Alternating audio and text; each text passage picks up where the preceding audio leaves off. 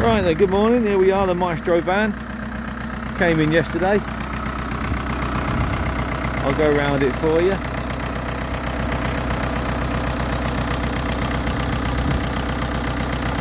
Austin's equivalent, I suppose, to the, um, well it was, wasn't it, to the Escort van. And arguably, mechanically, or even all round, arguably as good a van, I would suggest, really. I love that two litre diesel in there. They're a bit rowy, but they went well, they pulled nice. And they sounded um, like they had a little bit of guts.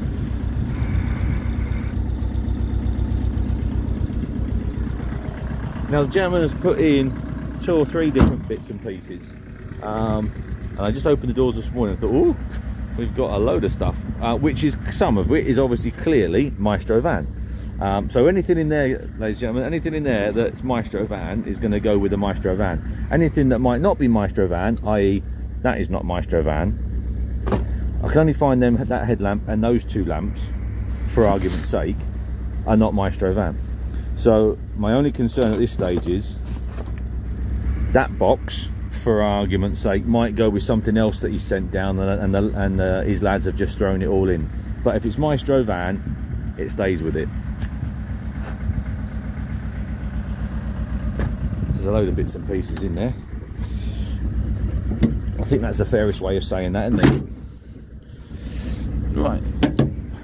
So we shut them up. We'll have another look around this inside of this one. And then... Oh, I'll tell you what I didn't mean to leave out. Um, there we are. Now, um, I assume that the majority of this, not all of it, is going to be Maestro van. But again, Maestro van there, so that one is for sure, isn't it? There we are. But my my only concern is that there might be a envelope in there which I'll get the office to go through. There might be an envelope in there with some information on one of the other cars possibly if they've just popped it all in. But it looks to me like nine tenths of it a maestro van. So anyway there we are. So we'll have a look around the outside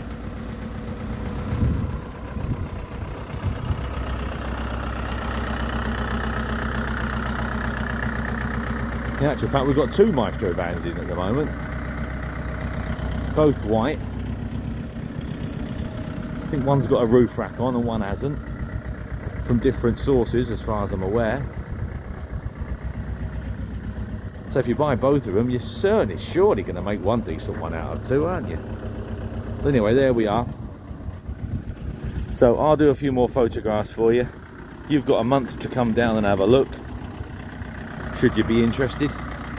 And please do